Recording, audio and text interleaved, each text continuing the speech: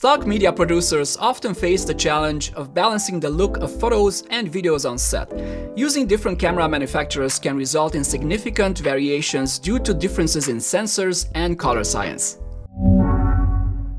Matching the colors between video footage and photo sets can be a daunting task, so in this tutorial we'll share some tips for efficiently achieving cohesive and believable results regardless of the camera brand differences.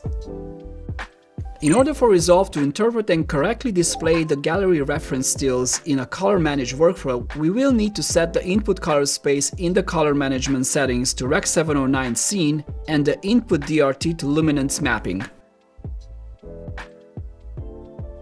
In turn, we must manually set every clip to its respective input color space. Check the video in the link above on how to set up a color managed workflow if you need a refresher.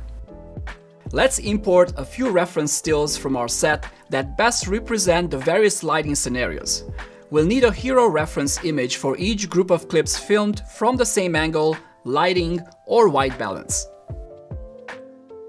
Select an album from the gallery navigator on the color page and drag your stills to the gallery section. To enable side-by-side -side viewing, select the split screen button at the top or use the keyboard shortcut Ctrl Alt plus W on PCs or Command Option plus W on Macs, then from the drop-down menu select Still Images. Select the image you want to use as a reference and you can start grading. Likewise, you can switch to image wipe view which lets you wipe between the currently selected clip you are grading and the selected reference still from the gallery. Now you can drag the pointer in the viewer to move the wipe and compare. You can switch between various wipe modes as you see fit from the top toolbar. This is a great way for comparing and matching skin tones or certain elements of the image together with using the scopes that will show the same split screen graph. Contrast is a major element in our images and defines the look, so it is important to learn how to match it to our reference stills. Luckily, we have the waveform scope to measure the amount of contrast we should be adding to match the reference. An easy way to match contrast and luminance is to desaturate the clip and the reference to eliminate the color and saturation. This way we'll have a much more accurate reading and view of the contrast and luminance on the waveform, making it easier to match to the reference. Bring a copy of your reference image in the timeline on a separate track from your clips. Then hop over to the color page. Select the reference image, then bring down the saturation to zero. Right-click in the viewer and select Grab Still. Reveal the timeline and click on the track name to disable it and hide the image. Next, select the clip you want to grade and likewise bring down the saturation to zero. With the black and white reference still selected in the gallery section, click on the split screen or use the keyboard shortcut Ctrl Alt plus W on PCs or Command Option plus W on Macs, then from the drop-down select Still Images. Bring up the waveform scope and turn the contrast slider until you get a similar looking waveform compared to the still. Adjust the exposure with the offset wheel and fine-tune the highlights and shadow levels with the highlight or shadow sliders. If you need to match the shadow level, hop in the log wheels and adjust the level to match the reference. Ultimately inspect the images in the viewer and adjust as you see fit, but this method will give you a good starting point. Once we're over the contrast matching, it's time to do a general white balance matching to our still. And general is the keyword at this stage. There is no need to go into secondary detail matching yet. At this stage, we're still working with broad strokes to match our grade with the reference. The best tool for this is the offset wheel paired with the parade scope. Turn on the display qualifier focus in the scopes,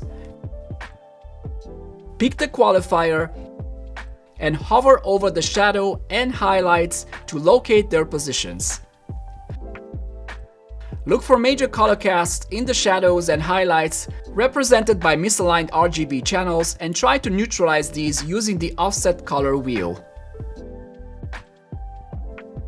Compare the differences in the RGB channels between your grade and your reference. Use the log shadows and highlights color wheels to fine-tune and match the reference RGB channels in the parade scope. The goal is to bring the entire look into the same world as the reference. At this step, we need to work with broad strokes, so try adjusting the white balance as closely as possible. The most important element when it comes to grading is skin tone. And that is also the case when it comes to matching your clips or a reference. People have a tendency to notice skin tone before anything else and run it subconsciously through a mental model pattern. If something is off, they will immediately notice it.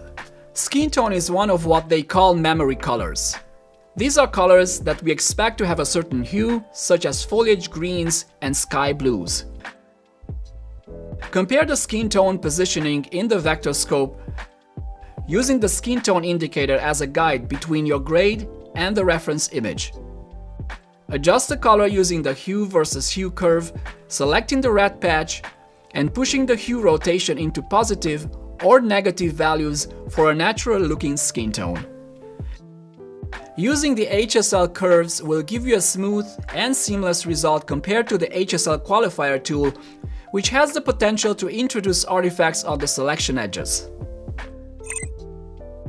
Lastly, look for dominant colors in the frame that need matching such as sky, foliage, or anything that stands out. Again, use the HSL curves like hue versus hue and hue versus saturation to adjust the colors to match the reference. Copy the grade to other clips from the same lighting setup group and make minor adjustments from clip to clip as needed. Once done, select the lightbox to show a grid of thumbnails with all the clips on your timeline. This is a great way to have a general view of the entire set and evaluate if any of the clips need more work. I hope you enjoyed the video and picked up some handy tips for matching your grades to a reference photo, making your video workflow a breeze. Please leave a like and subscribe to our channel if you haven't yet. We have a ton of educational material for stock media producers and creatives. And speaking of creatives, if you would like to join our inspiring community of artists here at Stocksy United and sell your work as stock media on top of it, why don't you sign up using the link in the description? We would love you to be a part of it. Till next time!